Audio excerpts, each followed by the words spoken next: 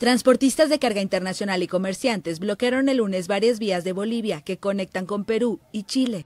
Denuncian escasez de dólares, una falta de divisas que el gobierno niega. Nosotros como asociación ya no sabemos dónde más acudir. Este es el medio que estamos eh, optando, bloqueando. Como principio, como anuncio. Y vamos a incrementar más, más, más radicalizar nuestra demanda.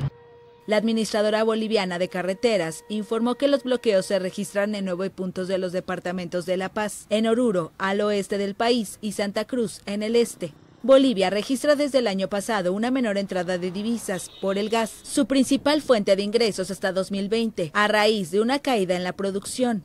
Incluso el gobierno echó mano de sus reservas internacionales para subvencionar el precio de los combustibles importados. El ministro de Economía, Gonzalo Montenegro, negó el lunes la escasez de divisas que denuncian los gremios y afirmó que sancionarán a los bancos que no otorgaron de forma oportuna los recursos.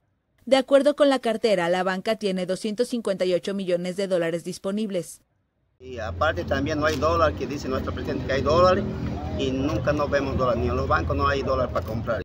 Desde 2011, la divisa estadounidense se negocia a una tasa oficial fija de 6 bolivianos con 96 centavos por dólar. Sin embargo, en el mercado negro se cotiza actualmente a 9 bolivianos y en la mayoría de las casas de cambio no se ofrecen dólares.